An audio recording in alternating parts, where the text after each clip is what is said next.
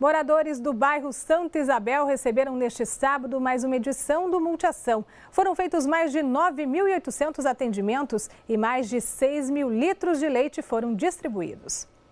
Será que dá para calcular quantas vezes o oftalmologista pergunta em um dia de atendimento? Você acha que fica mais nítido assim ou agora?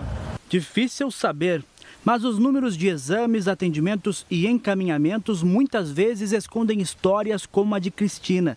Ela viajou mais de 200 quilômetros entre Rondonópolis e Cuiabá para ser atendida no Multiação. Meu objetivo era alcançar uma cirurgia, que agora o médico vai passar o parecer dele para a gente poder ver né, as condições de fazer.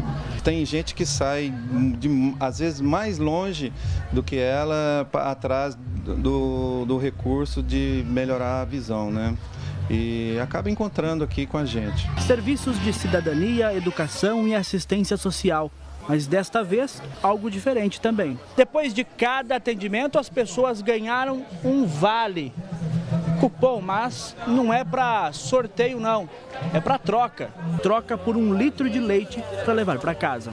Essa parceria nós já estávamos com vontade de fazer no Multiação mesmo e coincidiu com a data do Dia Internacional do Leite. Cada edição nós agregamos um novo parceiro e que faz a diferença. Você trouxemos soluções para todas as áreas da saúde, da educação e isso é, ajuda muito a população que hoje não tem aonde recorrer. A gente que trabalha aqui no Mato Grosso, que mora aqui, a gente ganha muito aqui no Mato Grosso. Por que não dividir isso com quem precisa? Então a ideia do Multiação é essa.